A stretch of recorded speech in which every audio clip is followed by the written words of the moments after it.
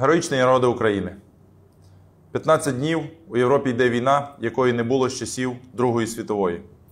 Вчора, після скидання бомб на дитячу лікарню та пологовий будинок в Маріуполі, весь світ вчергове переконався, що Росія не просто агресор, Росія це держава-терорист.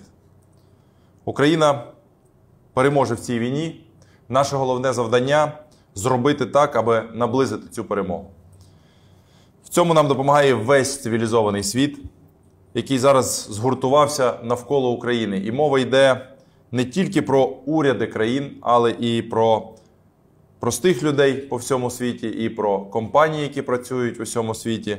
І Палата представників Конгресу США схвалила екстрений пакет допомоги Україні в розмірі 13,6 мільярдів доларів. Це кошти, які будуть направлені на посилення нашої армії.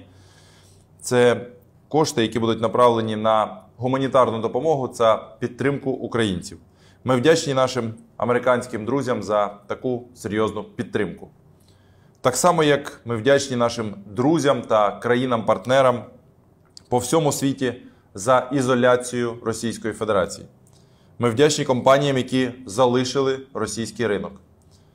Ми вдячні лідерам Євросоюзу за черговий пакет санкцій проти Російської Федерації.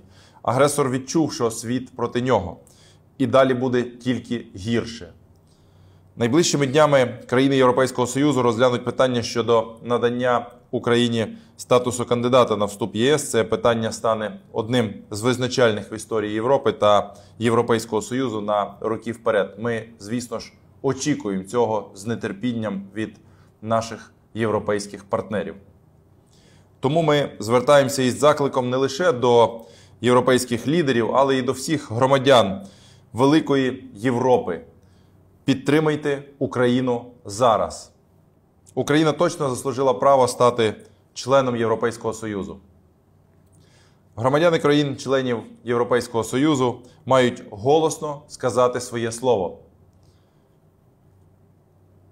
аби у ваших урядів не залишилось жодних сумнівів щодо того, яке рішення вони мають прийняти. Разом з усім світом ми продовжуємо кувати нашу перемогу. Для цього економіка України стає на воєнні рейки. Енергетична безпека та робота критичної інфраструктури, оборонно-промисловий комплекс, агропромисловий комплекс, логістика, успішна робота цих секторів це так само невід'ємні складові нашої перемоги. Наразі одне з головних завдань уряду це проведення посівної в тих регіонах нашої країни, де немає активних бойових дій. Наш пріоритет це продовольчі культури. Ми активізували роботу з аграріями в цьому напрямку, аби Україна повністю забезпечена себе необхідною кількістю продовольства. Має бути відновлена робота підприємств харчової промисловості в тих областях, які зараз знаходяться не на передовій. Хочу ще раз звернутися до бізнесу: відновлюйте виробництва, виводьте людей на роботу там, де це можливо. Повертайте працівників. Держава, в свою чергу, виконує свою роботу.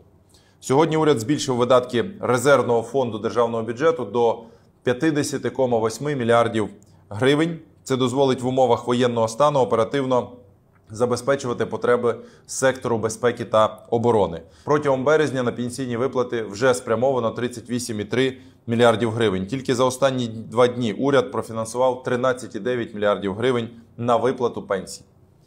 Також сьогодні затвердили порядок використання вже анонсованого є документа. Його можна буде згенерувати в застосунку та на порталі Дія. Є документ міститиме всю необхідну інформацію та QR-коди для підтвердження особистості. Це допоможе українцям, які через війну втратили документи, засвідчувати за необхідності свою особу.